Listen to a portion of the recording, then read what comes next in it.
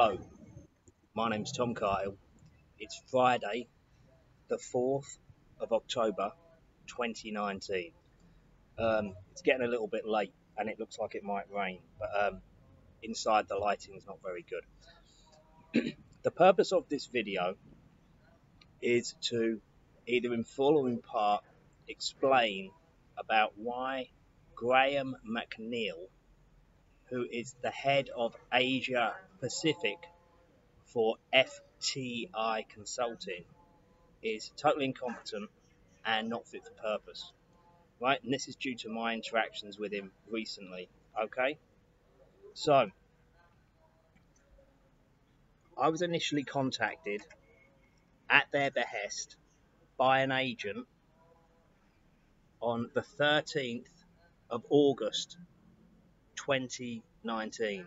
Right now, just to make things clear, today it's the 4th of October 2019. And um, so, and the last I heard from them was um, a few days ago. Now, I've written a email, a few emails to them, explaining to them that due to their incompetent, illegal, and possibly criminal behaviour, um, they broke the contract that we'd signed, the agreement that we'd signed. We countersigned it, and they'd accepted it, and he'd accepted it, and he specifically put in writing that he'd accepted it. So they basically decided they were going to change their mind and they could rescind it. Now, to be clear, this contract was signed under Korean law, and that's not back to back, but it was FTI a consultancy. And FTI, I didn't know about them, but they're a very massive consultancy. So in Asia Pacific, this um, Graham McNeil is in charge of 7,000 consultants, and these aren't people digging holes in the ground. These are things like accountants, engineers, quantity surveyors, contract managers, that type of thing. So anyway, this is under Korean law. Now, if you know anything about Korean law, um, they're very, very keen on privacy. Um, Korean labour law is very strict because in Korea you have debtors' prisons. If you can't pay a debt, you go to prison. So if someone starts defaming you over something that you allegedly did at work that you didn't do and then you can't get a job, you could go to prison. Do you see what I mean? So it's a criminal defamation country. If you defame someone, it's a crime. It's not merely illegal. But of course, it's inherently illegal under any Korean law contract, yeah? So I was going to be employed as a Korean employee. So I'd be getting paid via, I, believe, yeah, via, but it was a, a Korean law contract, okay? And I'll deal with this in more detail in another video probably because I don't want to get sidetracked. Anyway, so on the 13th of August 19, um, I got um, a call from a recruitment agent or an email, I forget, but I've definitely got an email on that date saying there's an immediate start in either a place in Indonesia near Jakarta or in Seoul. But the thing is, both jobs pay the same. But I believe this is the thing. It's a bit confusing because there they've said that you'll the first month's pay will you know you'll also get accommodation. But you see, if it's only for a six month contract, you can't really get accommodation in Korea for five months. Do, do you see? It doesn't really make any sense. But of course, if I had have paid for accommodation, then they cancelled the contract, which they're not allowed to do. I would have lost a lot of money, wouldn't I? So this is the, this is also another reason why it's so severe. So anyway, so you could go to Seoul in Korea, one of the most expensive places to live on earth, and it's very difficult to get reasonable reasonable accommodation that's not very expensive, as you probably know. Right? Now, so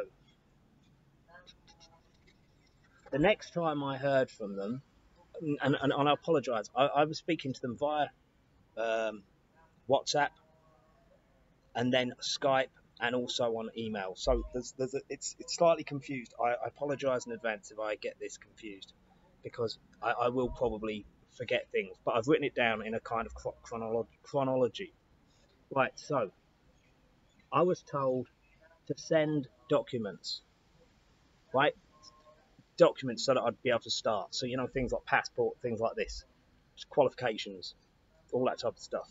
Right now, they said to me, upon this first, first, first, or maybe it was a second conversation the next day, that, um, or something like that, that they at FTI Consulting wanted me to receive documents because their client, which is LOTTE E and C, which is Lot Engineering Consultant, Engineering and uh, Contracting or en- Construction and Engineering, will be um, wanting me to start doing the work before getting the visa to Indonesia. At this at this point, it became it became clear that any idea of getting a job in, uh, well, you know, I, I expressed my my preference for Indonesia, so it became clear that there was no question of um, Seoul. So they, they weren't saying, oh, well, maybe we'll send you to Seoul. Would that still be okay? That gone out the window. But they were saying, can we send you the documents because it takes a little bit of time to get a work visa in Indonesia. Now, this is another important point. Indonesia has employment visas and business visas. A business visa is a visa that you can get with like any sponsor. You just get a sponsor, uh, like a piece of paper saying, uh, we we want you know we're, we're, sponsoring it, and this is the same with certain types of uh, residency visas. And I know this for a fact because when I was talking in detail about this a little bit after the time we're talking, I was in uh, Penang and in Penang, there um, Penang they have an Indonesian embassy, and there was a man there who gets visas in Indonesia for people, and he's got like sponsors and all that. But occasionally, you still need to go out of the country and apply again, and in Penang is a good place to do it. And he was saying it's a very good place. But that's just incidental. So anyway, but you see, the thing is that so you've got a business visa, which I could have just got myself. I could have literally walked to that embassy and got it myself just from phoning somebody or emailing someone and giving them like ten dollars, and then they would send me an email sponsoring me, uh, and I could have gone there on a business visa myself because you're not allowed to work on a business visa, but you're allowed to go on a business trip. I think it's up to six months you can stay there, but you, it's it's to, it's to explore business opportunities. It's definitely not working, and if you work, you'll be you know there'll be big trouble. It's, it's not allowed there. They're very strict about it.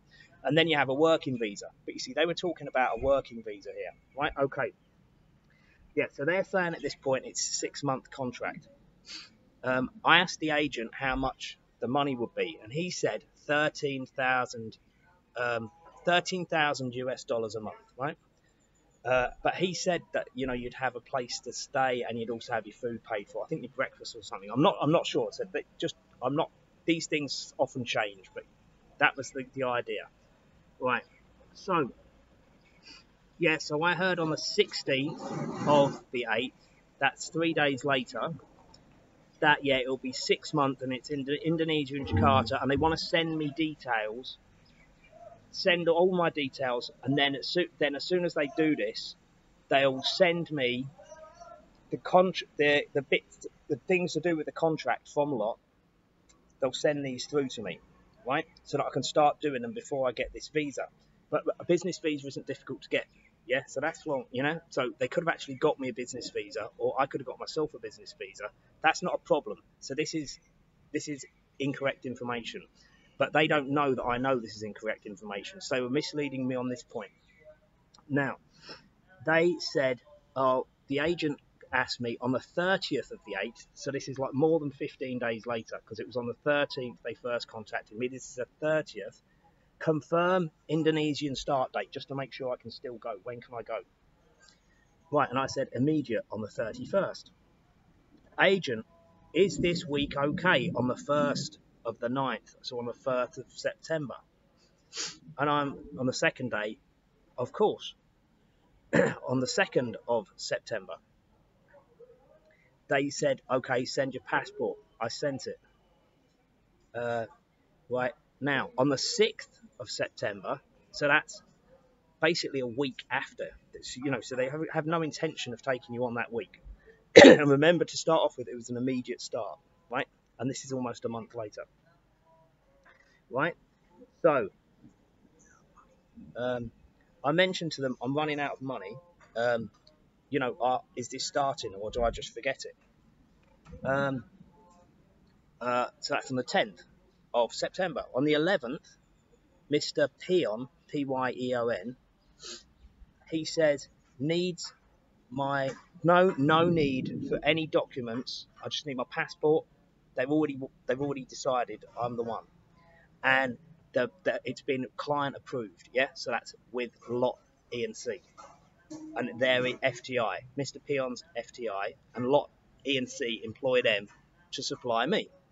So he says no need for any documents or anything like that. You phone me on Skype, right? And that's on the 11th of September. September 11th. So at that point, I remember actually thinking September 11th is a memorable date, isn't it? Well, that looks like we're, we're, we're there, yeah?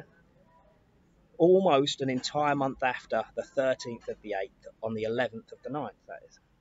Now, um, this Mr. Pyeon writes again and he says, What's your nationality and what's your location for a work visa application, right?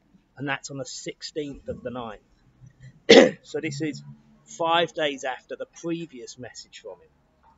These are only the significant messages. There's other messages in between, just asking questions, and you know, there's nothing of significance on them. Well, at least I don't think there is any. I've probably missed something. Right, lot are pro- processing your working visa. This is Mr. Pyeon saying this on the 20th of the 9th, 20th of September, right?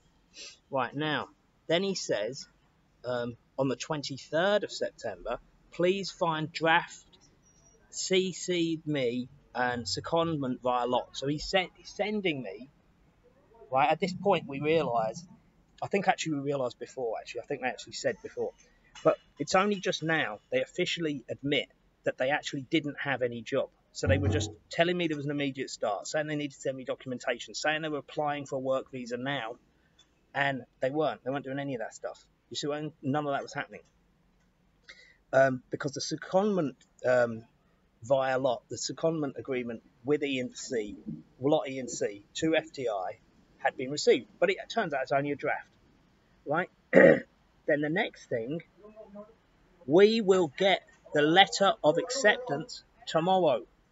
Bus visa business visa first for a kick-off meeting, right? So they're changing it. It's not a work visa anymore. It's going back to a business visa. But a business visa you can get any time. Yeah, it's very easy. You get it in the day. I could get it in the day, in the morning, and actually go to Indonesia because I was in Malaysia. I could have just gone. I could have just gone right then. Right, right now. So anyway, I've sent back to him. Maybe you can explain this tomorrow. And sorry, that's when he said, you know, business business visa for work visa. Right, okay. Right, so now they've changed the sorry, no. So I've got an offer on the 26th of the 9th, 26th September from somebody called Ditty, Ditty Wong. And Ditty Wong's is human resources, right? So this is the actual offer, right? Um, this Mr. Pyeon has said five months will send lot contract soon. No, so that's the 27th. Yeah, right. So the, the offer came on the 26th, and they're saying we'll send contract soon. So I, I don't really understand that. But anyway, so anyway, so the offer came through. Contract, Mr. Young, to get FTI email set up for you, right? So this is the same day. This is on the 26th or 27th, I forget. Anyway, 26th or 27th of September right now. Look. Right, uh, so I signed it, I sent it back. Um, right, now, Graham McNeil is the boss of FTI in Asia Pacific, right? So I've he's been copied in on these emails and stuff, right? And some of them were to do with him, like the secondment from Lot, that agreement that came through about two or three days before. Um, Right, so I've sent, saved it and sent it back. Right now. Right, so I've asked this Mr. Pyeon, after Graham, the boss, has said, welcome aboard, this is via LinkedIn messages, because I couldn't get his email. I, my, I, sent him an email and it bounced. Well, I sent him and other people an email and it bounced. So I it was just contacting him via LinkedIn. And um, so I've asked this Mr. Pyeon, right, so when's this when's this documentation coming that you've been saying is urgent and needs to be there yesterday as of um, like six weeks ago? And he said, oh, soon. And I said, soon in, in a few hours, because this is the weekend. No, this, this was um, Friday, right? And he says, no, it's um, soon in the next few days. So he's just he, he's just kicking the ball down the road again. Right, then I get this message from the human resources people saying, right, um, can you fill in this? Um, te- you need to do this test to qualify. Now, this is after I've been told that the, the deal is done, and they're saying, can you do this like test?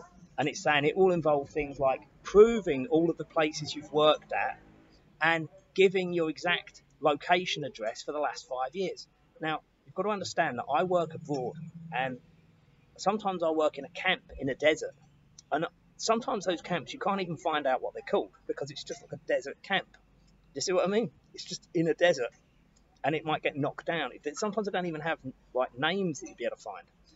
And sometimes the people will have, the camp won't be there after the project. They take the camp down and dismantle it and take it away or bury it in the ground or something. So the, there's no way I'm going to do this because I'm not going to go and do a test after I've been accepted, after six weeks of them fucking around, after them causing problems for six weeks. I'm not going to do a test after I've signed the agreement that says, oh, you, you know, you've got to pass the test because I can't necessarily. I don't want to put myself in a position of being like accepting it and then failing it and they go, oh, you failed it, because I don't know what the answers are. Because like when I've been in England, I've lived in my brother's house, I've lived in my mum and dad's house, I've lived around my friend's house, yeah, in between jobs. I've also lived in Thailand, I've lived in um, Malaysia, I've stayed in, I've stayed in other, and I've stayed in like other countries, Af- uh, including Africa, the Middle East. There's, there's, it's, it's Australia. Do you know what I mean? It's very, very difficult for me to know exactly when I was at which place when. It, it's, it's really, really very difficult, and I, I, I literally don't want to waste a day trying to work it out because it, I'll get it wrong anyway, I'm sure. But it's it's not it's not reasonable. These ridiculous asinine questions. So I've written back to this Mr. Pyeon. I've not written to the HR lady, uh, Ditty, Ditty Wong. I've said, do I have to answer this? You know, you've said I've got the job. You know, you're meant to be sending the contract documents. You haven't done it. You haven't given me exact start date. You're meant to have given me a work visa. Now you've changed it to an employ uh, business visa, but I know for a fact that you can just get a business visa. I can walk down the street, get one, and I can be on the aeroplane tomorrow. So all of this idea that oh you've got to wait for the other cut firm lot is all lies. That's that's that's completely inaccurate. Right. So then it seems that at some stage they've got umbrage at this, right? Now, so the agent called me now, got to remember, the agent isn't privy to the agreement. This is a mere finder. He finds people. So, of course, I'm not going to not tell him if I'm working for them. But at the same time, he's not privy to the contract. And this is Korean law, like I've said. And you can't go around talking to people about your contract. It's completely illegal, right? It's illegal and it's against the contract. And it might even be a crime. Because, like I said, in Korea, you can go to debtor's prison and you have criminal defamation. So if you're saying, oh, we did this, we did that, we did the other, you don't go and tell someone else to tell them who's not privy to the contract. It's completely illegal, right? It probably is criminal. Uh, I'm not totally sure, but it's definitely against the contract. And it would also repudiate their service agreement to supply people like me with lot E and C. Because, of course, if you do something illegal relating to the contract, it repudiates any agreement with that contract if they should find out. Now, if we do a bit of algebra here, they're not going to have said two lot, right, yeah, we've got someone. Oh no, some retard in human resources started asking stupid questions that have nothing to do with the contract after the event of signing it and us telling you that he's on the way. So if we do a bit of algebra here, we can be pretty sure that they will have been lying to this lot, Lot ENC, which is another Korean firm. Remember, it's a Korean, it's a Korean contract with the FTI Korea, I believe. FTI Korea. I, I can I'll clarify it later, but Lot is a, a Korean firm, yeah. But of course, it would be an Indonesian subsidiary. So they will have obviously said bad things about me, and to the agent, they will have said bad things about me, yeah. And they're not even meant to be talking to either of those parties about me, yeah. Just do, do you understand? It's completely illegal and totally stupid, and there's no way they can just terminate contracts that have been signed. Right, so they will have been defaming me, which will be criminal defamation under Korean law. Because otherwise, they're not going to say, we were asking asinine questions. He got sick of us and asked us, what more, what, what are you playing at? What, I'm not answering any more stupid questions. Right, so, so the agent called on the 28th of September, right? Then, um, later on that day, so I immediately, this was a Saturday, so the 27th was Friday, that was when it all got signed off and it was like, welcome aboard, well done, blah, blah, blah. You know, the same day I asked for the contract details, as in the contract that I'd be working on, because it's contract management role. I might not remember to say that. Uh, and um, he said, you know, kicking it down the road again. Oh, soon, you know, being vague. Oh, maybe next week, sort of, maybe in the next few days, not the next, not now. But you know what I mean? They haven't got it now, but they said they had it. How far back? Six weeks ago. More lies. Do you see what I mean? Because they never even had this contract for like almost six weeks, maybe five and a half weeks. Then they eventually get it. They leave it a few days before they sign it, and then they give it to me. But all the time they've been stringing me along and lying. Yeah. Right. So I, I write to this Graham McNeil on the weekend, and I'll give you the details of exactly what I said to Graham. Um, very, very shortly. Okay. Thank you for listening.